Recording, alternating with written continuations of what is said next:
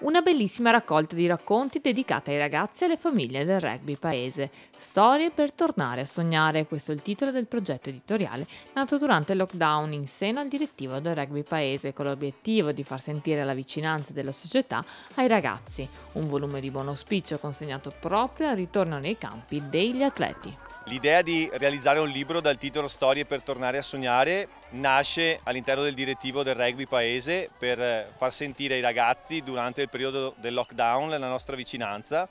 fargli sentire che anche se non si poteva giocare, non potevamo calcare i campi, comunque la società e il gruppo di adulti che segue i ragazzi era comunque vicino eh, ai bambini e a tutti i giocatori. Da questa idea è nato appunto questo libro che raccoglie 14 storie realizzate da autori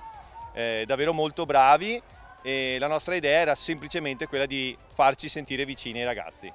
Un progetto che ha coinvolto grandi scrittori anche di letteratura nazionale che ha riempito il cuore del direttivo. Luca Pinzi è da anni uno degli scrittori eh, che noi seguiamo perché è vicino sempre alle associazioni e alla realtà del territorio veneto e non solo. Oltre a Luca ci sono ovviamente molti altri autori da Mazzoccato a Giuliano Pasini fino a un intervento di una delle voci più importanti della musica italiana che è Massimo Priviero che ci ha regalato l'ultimo racconto. È un libro che si legge piacevolmente, è scritto da scrittori per ragazzi e quindi noi contiamo che questa testimonianza sia sì un momento di lettura ma anche un momento di ricordo quando fra qualche anno nello scaffale vedranno questo libro bello giallo e si ricorderanno quando saranno un po' più vecchi di quel bellissimo momento che è stata la loro giovinezza nei campi di rugby di paese. Il rugby paese continuerà a svolgere gli allenamenti anche per i mesi di giugno e luglio grazie alla disponibilità degli oltre 30 allenatori e accompagnatori che seguiranno lo staff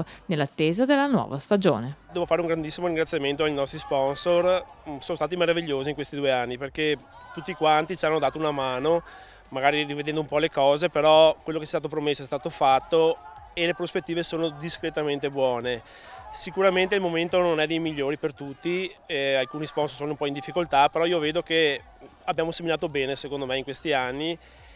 e le persone ci stanno riconoscendo un bel ruolo all'interno della società e all'interno del paese, del paese.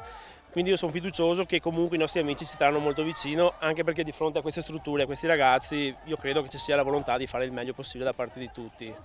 I nostri sponsor sono stati bravi e noi abbiamo voglia di tornare a fare un sacco di attività, purtroppo in questi anni è mancata la festa della birra, sono mancati tutti i tornei, i concentramenti,